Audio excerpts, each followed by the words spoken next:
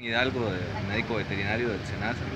estamos en una clínica móvil que está facilitada tanto por la Universidad Nacional como por el SENASA para la atención de casos de emergencia y también para la entrega de alimento,